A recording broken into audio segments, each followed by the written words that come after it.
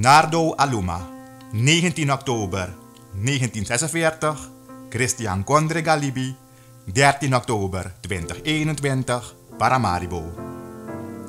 Kenner inheemse cultuur, schrijver, grondrechtenactivist.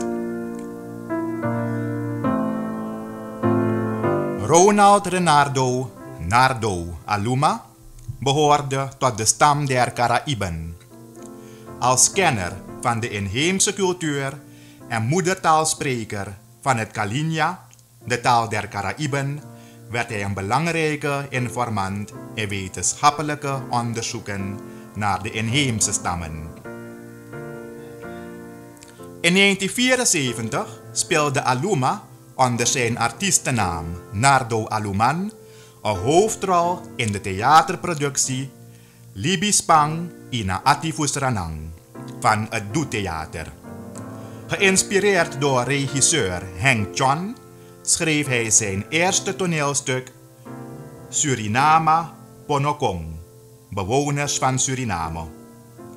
Vanaf 1982 publiceerde hij onder zijn artiestennaam verhalen en liederen van de Caraïben, zoals Atamigano Wareri, liederen om in zichzelf te keren. In 1988 richtte hij de eerste inheemse theatergroep Epacadono, de nieuwe generatie, op, die debuteerde met Julawai, strijd tussen goed en kwaad. Aluma was een vroege grondrechtenactivist.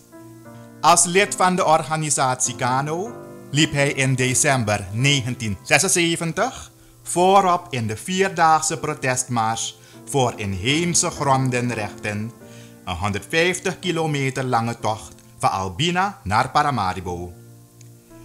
Aluma was in 1992 medeoprichter en tot 2005 voorzitter van de organisatie Inheemse Suriname, aangesloten bij het coördinerend orgaan van inheemse volken in de Amazone.